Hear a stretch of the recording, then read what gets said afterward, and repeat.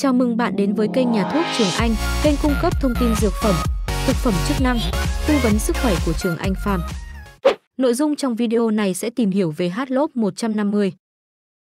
Quý độc giả thân mến, để sử dụng thuốc an toàn và hiệu quả, hãy tuân thủ đúng theo chỉ định từ bác sĩ hoặc tìm hiểu hướng dẫn sử dụng an toàn từ dược sĩ. Không tự ý sử dụng thuốc hoặc sử dụng thuốc bị chống chỉ định, vì điều này có thể gây hại cho sức khỏe. Nếu như bạn quan tâm tới thông tin về HLOP 150 cũng như cách sử dụng sản phẩm thì hãy theo dõi hết video mà Trường Anh Farm chia sẻ dưới đây. Thành phần Herbisatan Dạng bào chế, Dạng viên nén. Công dụng Tăng huyết áp động mạch vô căn. Bệnh thận do đái tháo đường loại 2 có tăng huyết áp.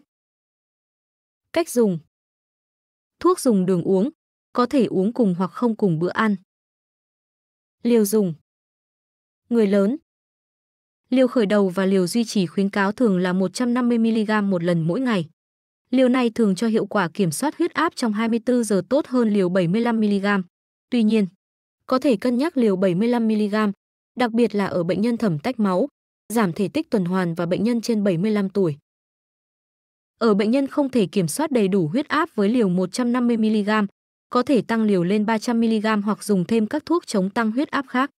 Đặc biệt, khi dùng thêm một thuốc lợi tiểu như hydrochlorothiazide cho tác dụng hiệp đồng với irbesatan.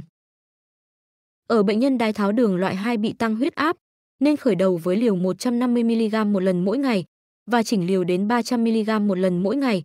Liều duy trì được ưu tiên dùng cho điều trị bệnh thận. Chống chỉ định Quá mẫn với irbesatan hoặc với bất cứ thành phần nào của thuốc phụ nữ mang thai 3 tháng giữa và 3 tháng cuối thai kỳ. Lưu ý khi sử dụng. Bệnh nhân giảm thể tích nội mạch. Bệnh nhân tăng huyết áp hẹp động mạch thận. Không khuyến cáo dùng thuốc trong 3 tháng đầu thai kỳ. Chống chỉ định dùng thuốc trong 3 tháng giữa và 3 tháng cuối thai kỳ. Bà mẹ cần cân nhắc thật kỹ lợi ích và nguy cơ cho mẹ và bé. Không nên tự ý dùng thuốc khi chưa đọc kỹ hướng dẫn sử dụng và chỉ dẫn của bác sĩ để bảo vệ cho mẹ và em bé.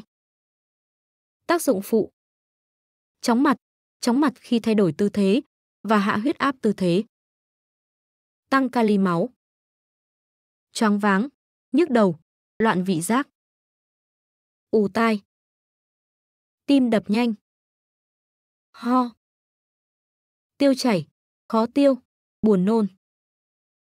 Bất thường chức năng gan, viêm gan.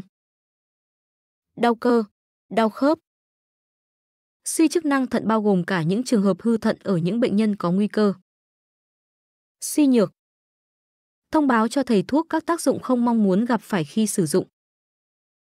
Nhà sản xuất Công ty trách nhiệm hữu hạn dược phẩm Đạt Vi Phú Hy vọng, qua những chia sẻ trong video này của Trường Anh Farm sẽ giúp quý bạn đọc hiểu rõ hơn về sản phẩm HLOP 150, đồng thời biết cách sử dụng HLOP 150 sao cho đúng và hiệu quả. Nếu có thắc mắc khác, hãy liên hệ tới bác sĩ điều trị để được tư vấn kỹ hơn nhé. Hãy là người tiêu dùng thông thái trong việc sử dụng dược phẩm để đảm bảo sức khỏe của chính bạn và người thân. Cảm ơn bạn đã theo dõi video. Nếu như bạn thấy video hay, có ích và để cập nhật thêm nhiều thông tin về các sản phẩm dược phẩm, mỹ phẩm cũng như các loại thuốc hoặc thực phẩm chức năng khác, vui lòng nhấn đăng ký và theo dõi kênh nhà thuốc Trường Anh của Trường Anh Farm.